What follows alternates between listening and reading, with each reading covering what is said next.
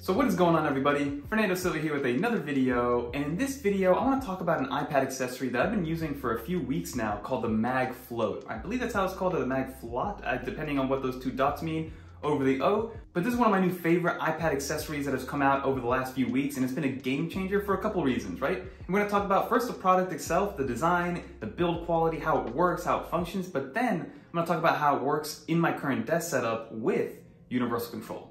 So without further ado, Let's get it going.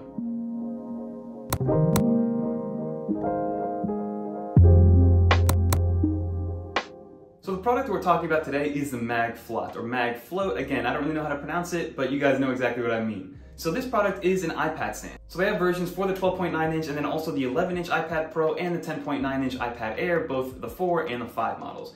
I have the 12.9 variant because you guys know that I'm in the 12.9 game and that's my iPad of choice at all times. But this stand is actually awesome. From a build quality standpoint, it's made out of aluminum. It fits that Apple aesthetic beautifully. It kind of gives it like an XDR stand look. So it kind of looks like, so it kind of looks like your iPad is an XDR display sitting on top of the stand. So it's a very, very pretty look and aesthetically, this is very, very pleasing. So in the box itself, you get three main things. You get the actual base, you get the stand, and then you get the magnetic plate to attach your iPad to. There's like four screws and a little Allen wrench you gotta put together, so it does come out kind of taken apart. A little assembly required, but not that big of a deal. It took me about 30 seconds to put it all together. And then on top of that, it does bring a nice three meter USB-C cable, but one end of that USB-C cable is actually made to fit with the Mag Flot, so it has kind of like a like a 180 degree look to it. So I'll show you guys some B-roll of what exactly it looks like. But for the situation I'm using it for, it actually works perfectly. So having that kind of custom cable to fit this aesthetic and fit this form factor is beautiful to have included in the box.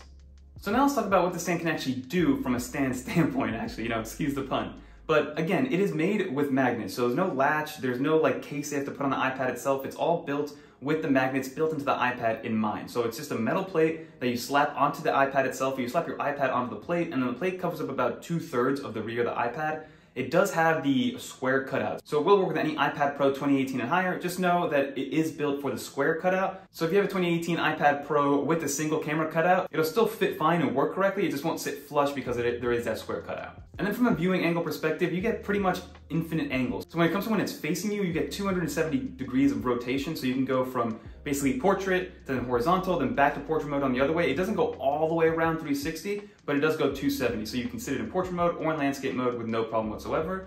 And then also it flips on its x-axis. So if you have somebody maybe in front of you that you want to show content with, so let's say you're you know, sharing a YouTube video or sharing a PowerPoint presentation and you want to flip the actual screen to somebody in front of you, you can also do that. So, so from that standpoint, it actually does rotate 360 degrees, so you can rotate it fully across to the other side, which is a nice little addition to have, honestly. So that is the Mag Flot stand. It's a very sturdy and well-built stand made for the iPad Pro, built with magnets. It's very easy to take off, very easy to put back on. You never have to worry about the magnets getting loose or the magnets not being strong enough to hold the iPad because I haven't had any issues with it at all. So overall, I think you're gonna be very pleased with the build quality of this stand if you're looking for something very aesthetically pleasing for the iPad Pro.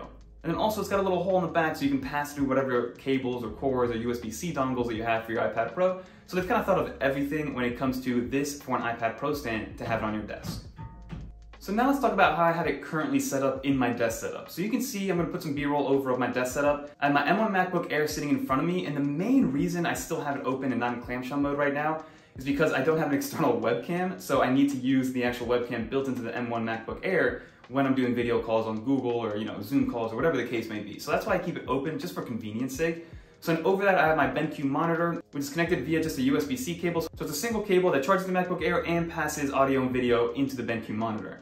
But then what I did is I grabbed that MagFlot stand and I put it on top of my little shelf that I had from GroveMade, put the iPad on there, turned on universal control, and then set up my iPad to have universal control on the right side of the BenQ monitor. So what I thought to myself was, hey, I'll use the iPad whenever I need to edit video with LumaFusion. I can still use my MacBook Air peripherals in order to get that done. So I don't need to have my Magic Keyboard attached to it at all times, which is something that, again, it's kind of nice to have. It's a little bit more freeing of a desk setup, but I don't know if I'm gonna keep it this way. Right now it works. It's a little bit farther from a distance standpoint that I would want it to be. I want it to be a little bit closer. I like being very intimate with my iPad Pro when I'm working on it.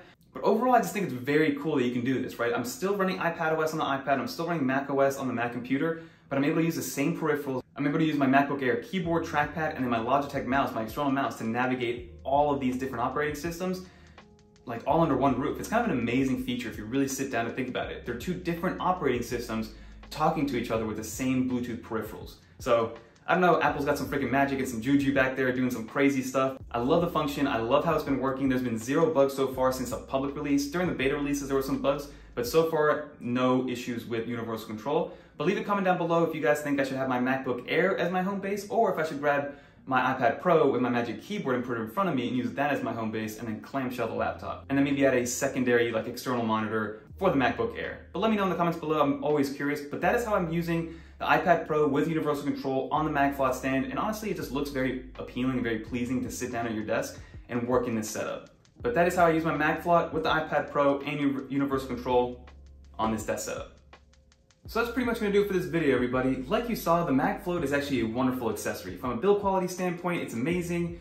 You guys saw that it does take a little bit of assembly to get done, but overall it's very easy to put together. The magnets are super strong. It's very versatile how you can use it as a stand.